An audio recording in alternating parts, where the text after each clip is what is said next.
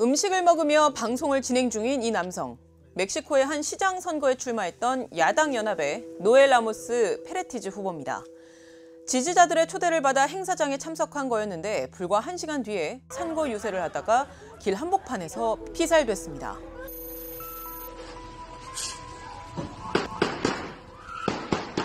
멕시코의 또 다른 시에서는 시장 당선이 유력했던 기셀라 가이탄 후보가 선거 유세 당일에 괴한의 총격에 숨졌습니다.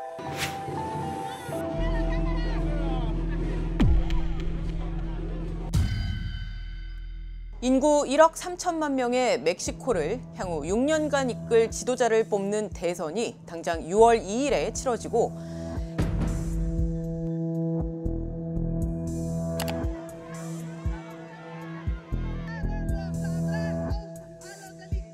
이날 연방 상하원 의원, 지방단체장 의원 함께 선출되는데 지금까지 숨진 후보자와 선거운동원, 정당인 등은 모두 22명에 이른다고 멕시코의 한 당국자는 밝혔습니다. 그러나 현지 언론들은 선거와 관련돼 숨진 사람은 지난해 9월부터 올해 5월까지 34명이라고 보도하고 있고 미국 뉴욕타임스는 과거 2021년에 선거 기간에는 최소 32명이 숨졌다며 멕시코에서 가장 위험한 사람은 선출직 후보다라고 지적하기도 했습니다.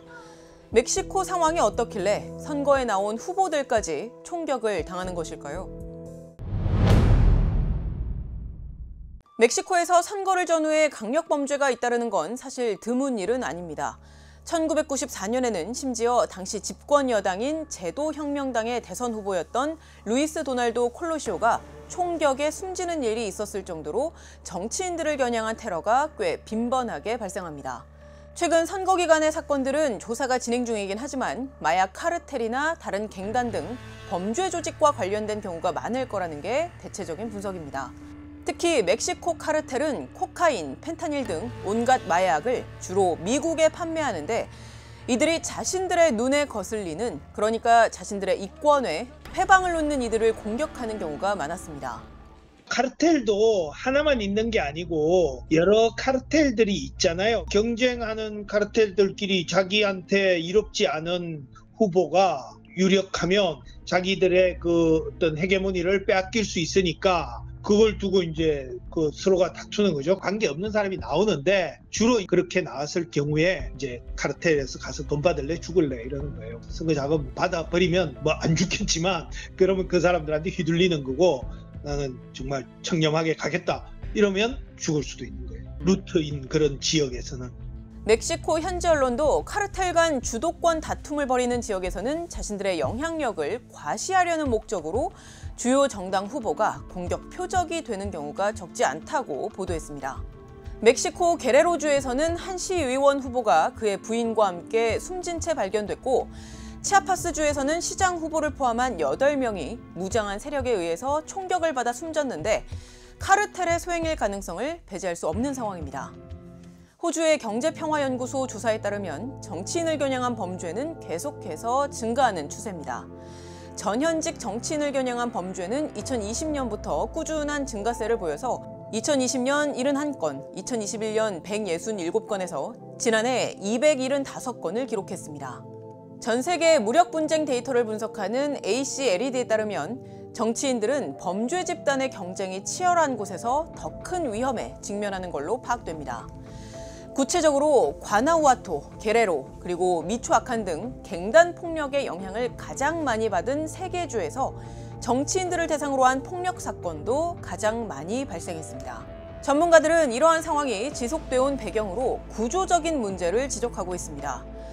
지난 2018년 취임한 로페스 오브라도르 멕시코 대통령은 카르텔의 공격으로 대응하기보다는 젊은이들이 범죄 조직원으로 가담하는 원인을 없애겠다고 공언했지만 결과적으로 강력 범죄 비율을 낮춘다거나 카르텔 등 범죄 조직의 영향력을 줄이지는 못했습니다.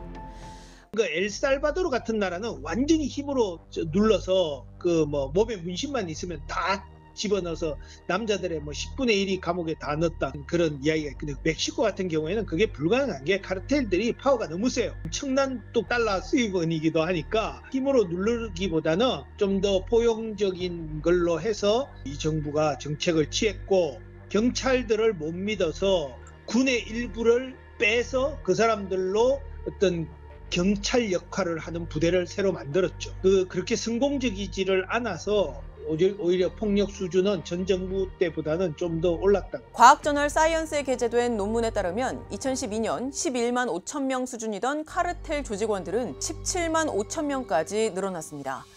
이는 멕시코 전체 인구의 0.1% 정도인데 멕시코 10대 기업과 맞먹는 규모라는 게 연구팀의 설명입니다.